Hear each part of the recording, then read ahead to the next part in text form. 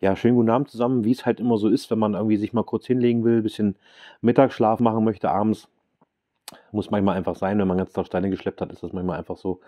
Ähm, rattert es natürlich im Kopf. Ne? Und dann ist für mich immer so ein Punkt, wo ich sage, Mensch, mach dein Video, teil dich mit. Wer es guckt, der guckt es, wer nicht, der, der guckt es nicht.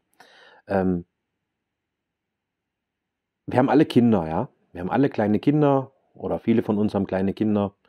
Äh, und um deren Zukunft geht es uns einfach. Wir wollen, dass es denen mal besser geht als uns, dass die eine schöne Stadt äh, haben, in der sie sich wohlfühlen können und aber auch was geboten wird und auch auf den Dörfern natürlich gar keine Frage. Ich bin ja jetzt in Pupzig gelandet, seit Ende letzten Jahres wohnen wir jetzt in Pupzig, haben ja ein wunderschönes Grundstück, ein wunderschönes Haus und ganz tolle Nachbarn, habe ich ja schon mal erwähnt. Ähm, Gehe natürlich auch super gerne zu den Ortschaftsratssitzungen, jetzt letzte Woche war wieder eine. Ähm, Pupsi ist ganz speziell. Also es gibt es in keinem anderen Ortschaftsrat hier in der, in der Einheitsgemeinde Nienburg, ähm, wo so die verhärteten Fronten da sind, irgendwie, wo wirklich, da ist nichts mit konstruktiver Zusammenarbeit. Also wer die Ortschaftsratssitzung erlebt hat, der, da waren ganz viele Bürger da, haben sich beschwert, dass manches äh, oder vieles richtig scheiße läuft zurzeit und äh, sich beschwert über das, von, vom, vom Ortsbürgermeister da so ein, so ein Post gemacht hat, Thema Osterfeuer, viele Pupziger werden es wissen. Ähm, ich habe immer gesagt, wenn ich nach Pupzig ziehe, möchte ich hier neutral bleiben. Ich möchte nicht irgendwo dazwischen geraten, zwischen die Leute vom Heimatverein und die Leute vom Bokrapo.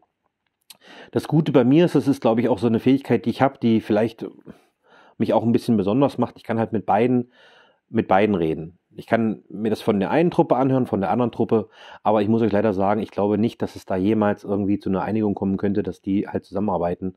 Und das macht mich schon ziemlich fertig. Also ich werde natürlich auch für den Ortschaftsrat 2024 für Pupzig kandidieren und hoffe, dass man dann dieses 4, 4, 4 zu 3 äh, Verhältnis ein bisschen ändern kann, dass man ein bisschen vielleicht 3, 3, 1, keine Ahnung, dass man so das Jünglein an der Waage ist äh, und ja, so ein Vermittler vielleicht. Das würde ich, das würde ich echt gern sein. Weil beide irgendwo äh, ihre Interessen haben, beide ihre Vergangenheit haben, beide irgendwie wollen, dass es in Pupzig und Gramsdorf, Borgesdorf vorwärts geht, aber irgendwie kommen die nicht zusammen und das macht mich halt total fertig irgendwie, weil das ist nicht schön. Ja, was mir noch so ganz doll auf der Seele brennt, ist äh, unsere ganz tolle Stadt Nienburg. Ähm, was da so im Rathaus passiert. Es macht mich einfach fertig, wenn ich das so Monat für Monat, Jahr für Jahr miterlebe, was da irgendwo an Innovation kommt, was da irgendwie an, an Inspiration kommt, wo man irgendwie was für, dieses, für diese Stadt machen möchte, dass es irgendwie lebenswert bleibt oder vorwärts geht oder irgendwas Neues mal überhaupt diese Stadt lebensfähig zu erhalten. Das wäre auch mal ganz toll. Ich habe es ja schon mal erzählt äh, mit diesem Photovoltaikprojekt, wo wir der eigene Stadtwerke gründen war mal irgendwann letztes Jahr ein Beschluss da, dass man es halt verpachten möchte und dann, ja, dann ist das wieder mal Geschichte. Man wartet wieder monatelang, so wie halt etliche Leute auf ihre ähm, auf ihre Kaufanträge, auf die Beantwortung warten, weil dann noch ein Wertgutachten gemacht werden muss. Es zieht sich alles über Jahre. Jahre, in denen die Leute dann einfach wegziehen, weil sie die Schnauze voll haben. Und so darf das einfach nicht sein. Wir können doch nicht einfach immer, immer wieder die guten, die jungen Leute, die finanzstarken Leute abwandern lassen, weil wir es nicht geschissen kriegen, irgendwie mal denen was zu bieten, ja. Und so ist das halt, äh, ja, weiß ich auch nicht. Letztens ist mir auch im Stadtrat, das habe ich noch gar nicht erzählt, da hatte Frank Kirschner äh, eine ganz tolle, eine ganz tolle Sache vorgeschlagen und das fand er auch ganz, ganz schlimm. Wir haben, wir haben die Stiftung in Nienburg, ja, direkt auf dem Marktplatz. Ähm, Bürgermeisterin ist ja, ist ja da die Stiftungsvor der Stiftungsvorstand.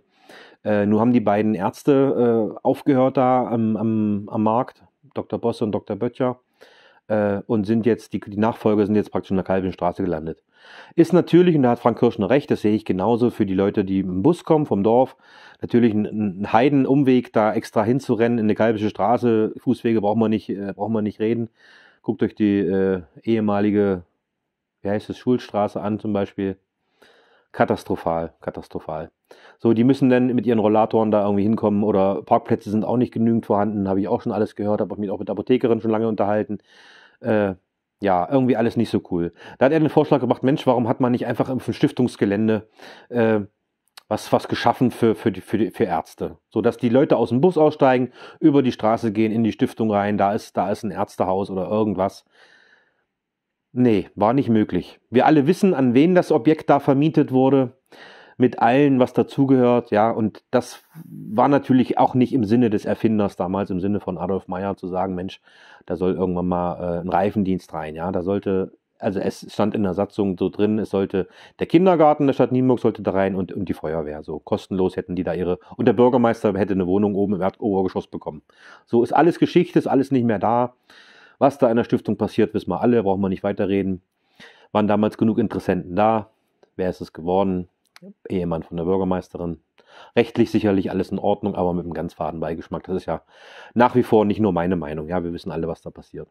Ja, und das macht mich halt so richtig fertig, dass man irgendwie das Potenzial, was Nienburg hat, die, die, die, das man nutzen könnte, ja, wie gesagt, mit diesem Photovoltaikkonzept, endlich mal Geld einnehmen, mit dem man auch diese ganze Stadt und auch die Dörfer irgendwie äh, bereichern könnte, mit dem man wirklich was machen könnte, was auf die Beine stellen könnte, ja wird einfach alles, alles Dienst nach Vorschrift, alles so weiter wie gehabt da kommen wir auf keinen grünen Zweig. Und dann brauchen wir uns auch nicht wundern, wenn irgendwann äh, die Stadt so am Arsch ist, sage ich mal, dass, dass wir irgendwo eingegliedert werden, ja. Und dann haben die Leute noch weitere Wege, um zur Verwaltung zu kommen. Und das darf eigentlich alles nicht sein. Wie gesagt, ihr könnt mich für einen Bekloppten halten, der nur den ganzen Tag Scheiße labert. Macht, was ihr wollt. Aber das ist einfach meine Meinung. Man könnte aus dieser Stadt viel mehr rausholen. Das sollte allen Bürgermeistern und Bürgermeisterinnen in ganz Sachsen-Anhalt und in ganz Deutschland so gehen, dass die halt versuchen, das Maximale aus ihrer Ortschaft äh, herauszuholen. Auch für die Leute da zu sein, Ansprechpartner zu sein, erster Ansprechpartner überhaupt äh, und halt auch wirklich Innovationen, auch mal Ideen reinzubringen in den Stadtrat, wie man sagen könnte, so, so bringen wir das hier vorwärts. Und das fehlt mir einfach. Wie gesagt, das fehlt mir einfach in dieser Stadt und das ist so traurig irgendwie. Es läuft alles so, wie es immer war und ja, damit bleibt was ist, ne? Ja, aber damit bleibt was ist, ist dann irgendwann nicht mehr und dann, ihr wisst, was ich sagen will. Das ist halt schade. So, das war jetzt mal meine Gedanken. Mir ist jetzt leichter. Sind wieder sieben Minuten geworden. Müsst ihr mit leben oder nicht, guckt's oder guckt's nicht. Äh, das war's erstmal. Ich wünsche euch einen schönen Abend und morgen einen schönen Sonntag. Bis dann.